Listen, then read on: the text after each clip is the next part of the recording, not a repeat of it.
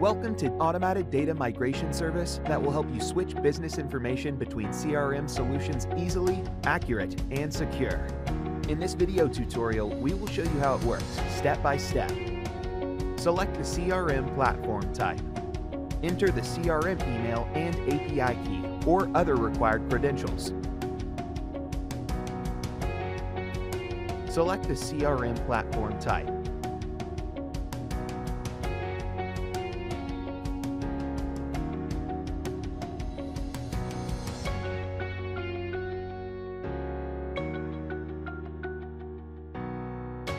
Then, select items you'd like to migrate to the new CRM platform and perform user matching. By pressing View or Change the field mapping, you will open the window and see all auto-mapped fields and details. At the top of the page, you can see a list of modules on your source and target CRMs. Use Search option to find the required field faster.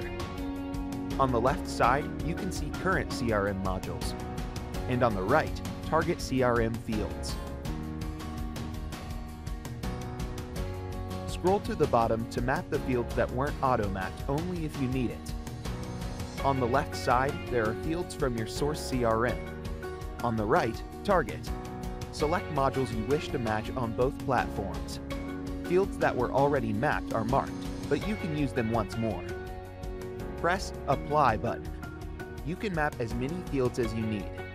When all is done, press Save Mapping button and close the mapping window. The migration process will take some time. It's not necessary to keep the window open. You can close it without data loss. You'll get a notification letter on your email. Check out the result.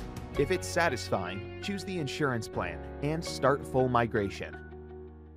The service is trusted and recommended by top CRM vendors HubSpot, Salesforce, Suite, Bitrix 24, Capsule, Insightly, and others.